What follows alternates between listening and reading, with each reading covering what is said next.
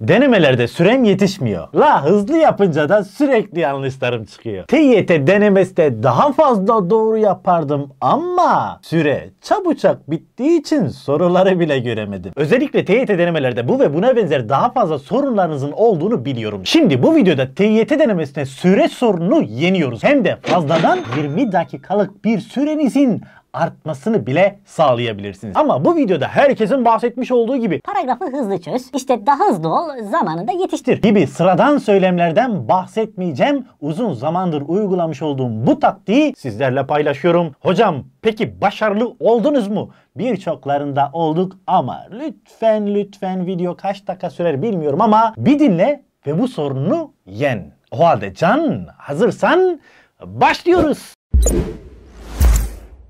Bu sorunla o kadar fazla karşılaşıyorum ki özellikle matematiği yapabilen, özellikle derece isteyen tayfanın böyle yakasına yapışmış bir türlü bu süre sorununu yenemiyor. Hani normalde Türkçeyi fullleyecek, normalde matematiği fullleyecek ama neden bu kadar düşük çıktı bu denemede dediğim zaman hocam süreyi yetiştiremedim diyor. Ya matematikten 30 net ve üstü bırakan öğrenci sırf süre yetiştiremediği için 10 net 15 net anca çıkartabiliyor. Göremediği için. Hani diyorsunuz ya bir görsem bir süre yetse yapacağım da denemeden sonra çok daha yüksek netlerim çıktı. Ah bu süre sorunu vah bu süre sorunu diyoruz değil mi? Bu sıradan bir sorun değil. Bakın matematiği bir şekilde halledersin. Fizik, kimya, biyolojiyi bir şekilde halledersin. Tarih, coğrafya, Türkçeyi bir şekilde halledersin. Ama süre sorunu halletmeden bunların hiçbirisinden verim elde edemezsin. Bu yüzden hala zamanın varken şu söyleyeceklerimi kulağına küpe yap da bu sorunu şimdiden hallet. İlk başta sizden şunu istiyorum. Bir TYT'yi tanıyalım ve TYT'de izlemeniz gereken yöntemleri tanıyalım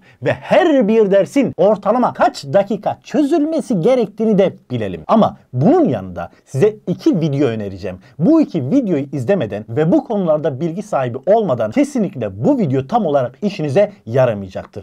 Bunlardan biri balık nefesi taktiğimdir. Fi planlama defterimin içerisinde de yer alıyor ve öğrenciler bundan çokça memnun oldu. Bahsettiğim bu videoyu bu videonun açıklamalar kısmına ekledim. Buradan linkini tıklayarak bunu izleyebilirsiniz. Bu bir. İkinci video ise denemeden önce, deneme esnasında ve denemeden sonra yapmanız gereken çok çok önemli şeyler var. Bunların tamamını yine bir videoda topladım. Oynatma listesine topladım. Bunu da kesinlikle izleyin. Aşağıya bunun da linkini bırakıyorum. Lütfen ama lütfen bunu da bunları da izleyin. Bu bilgileri verdikten sonra şimdi gelin TYT denemesindeki o dersleri bir inceleyelim. Türkçeden başlayalım. Bir kere Türkçe iki bölüme ayırıyoruz. İlk 20 soru ve son 20 soru şeklinde. Neden ilk 20 soru ve son 20 soru diye ayırdığıma geleceğiz. Zaten dananın kuyruğunun koptuğu noktada burası. Ortalama 45 dakikada bitirmemiz gerekiyor. Bir de matematiğimiz var değil mi? Matematiği de ilk 20 soru ve son 20 soru diye ayırıyoruz ve matematiği ortalama 60 dakikada bitiriyoruz. Sosyal bilgileri de iki gruba ayırıyoruz. İlk 10 soru ki bunun içerisinde tarih ve coğrafya vardır ve son 10 soru. Bunun içerisinde de felsefe ve din kültürü bulunmaktadır. Bu sorularda ortalama 15 dakikada çözebilirsiniz.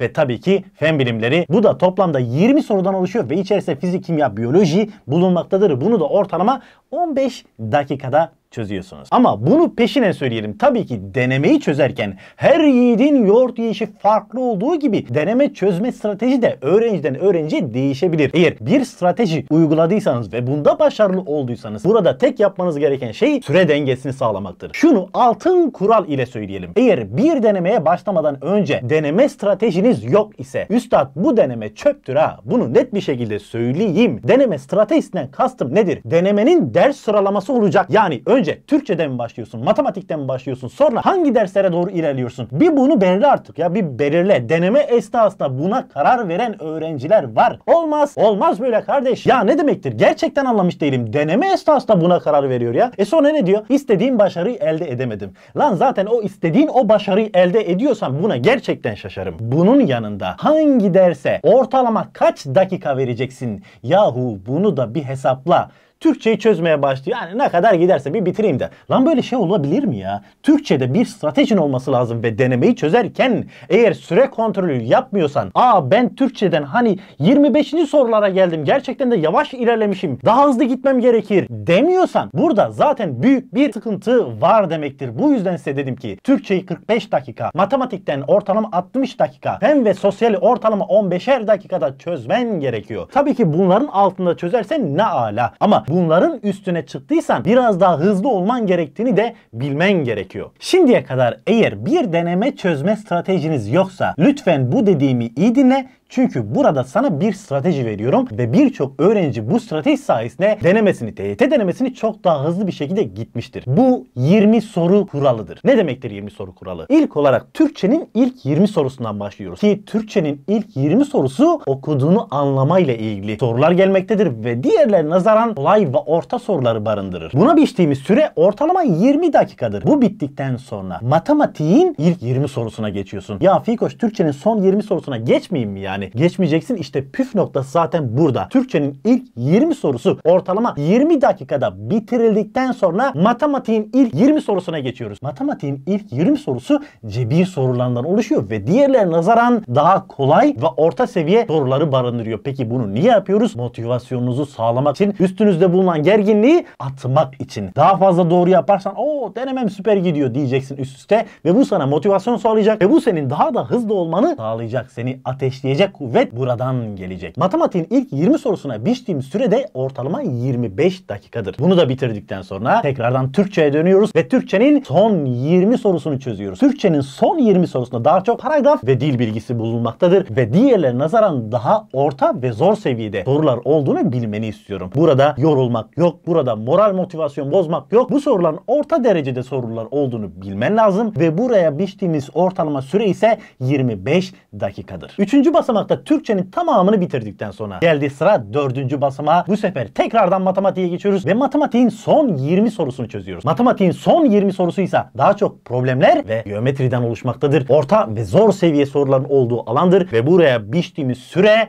35 dakika. 4 adımda bu şekilde hem Türkçeyi hem de matematiği bitirdikten sonra geriye ne kalıyor? Sosyal ve fen bilimleri kalıyor. 5. adımımızda sosyalin 20 sorusunu çözüyoruz. Buna biçtiğimiz süre ise 15 dakika. Ve son adımımız olan 6. adımda fen bilimlerini çözüyoruz. Yine buna biçtiğimiz süre ortalama 15 dakikadır. Yani 135 dakikada TYT deneme sınavımızı bitirmiş oluyoruz. Ama dediğim gibi bu taktikten çokça verim almak istiyorsan açıklamalar kısmında bulunan o deneme koştuğu videolarımı izle lütfen. Bir de dereceye oynayan öğrenci gruplarımız var. Bu öğrenci grupları TYT deneme sınavını bitirdikten sonra ekstradan süreye ihtiyaç duyarlar. Çünkü nokta atışı o kararsız kaldıkları sorulara dönmek isterler. Turlama taktiği uyguladıktan sonra boş bırakmış olduğu o sorulara dönmek isterler. Bunun için de ortalama 10-15 hatta 20 dakikalık süreye ihtiyaç duyabilirler. Peki bu öğrenciler TYT denemesini 20 dakika erkenden nasıl bitirecekler? Bu gayet basit. Eğer Türkçeden hızlı okuma tekniklerini geliştirdiysen 45 dakika ortalama 45 dakikalık süreç mi vermiştin? Eğer hızlı okuyorsan 35 dakikada Türkçeyi bitirebilirsin. Al sana ekstradan 10 dakikalık zaman.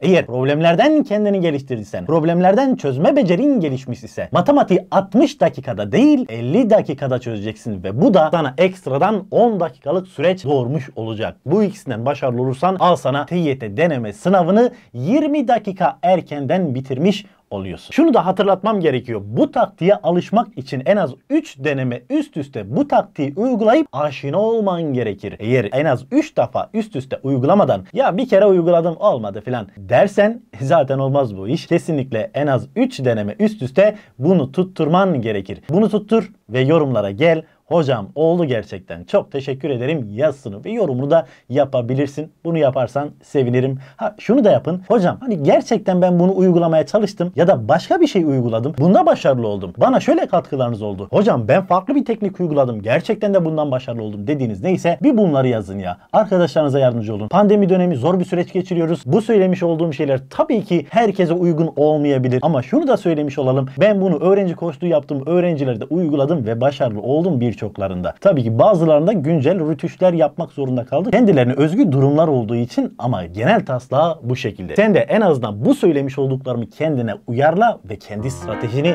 oluştur. O halde can bir sonraki videoda görüşmek dileğiyle sevgi ve selametle kalın. Kendinize çok çok çok iyi bakın.